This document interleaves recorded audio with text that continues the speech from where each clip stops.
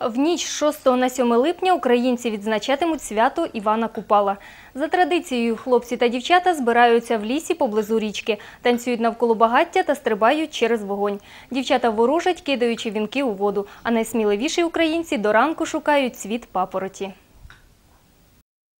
Івана Купала – це свято очищення перед жнивами. Шануючи святого Івана Хрестителя, українці збираються докупи, щоб перед відповідальним хліборобським періодом очиститися духовно та фізично. Хлопці рубають деревце, так рубали колись. Найчастіше вербу, встановлювали її на вигоні десь, але обов'язково біля води. А ввечері вже і поночі вже розпочиналось нічне святкування. Атрибутами свята є першоджерела життя на землі – вогонь та вода.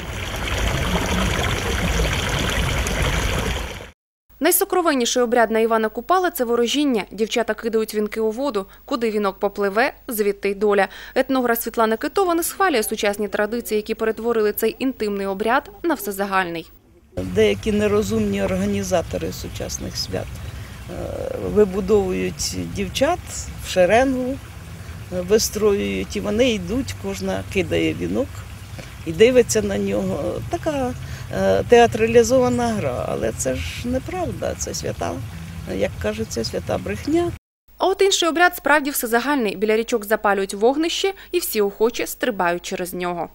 Коли закінчується ніч, не можна гасити вогнище, е, хай воно дотліє до останку, і хай з ним в тому вогні згорить все лихе, що людина е, вважає за зло. Шукають на Івана Купала квітку папороті. За легендою, хто її знайде, може бачити крізь землю та розуміти мову тварин і земноводних. За легендою, квітка папороті може показати шлях до скарбу. Утім, етнографи не пам'ятають жодного випадку збагачення в такий спосіб, які не знають всіх мотивів проведення того чи іншого обряду. В українській етнографії ще багато білих плям, пов'язаних з Івана Купала. Юлія Кропова, Владислав Тягун, Вікка Новини.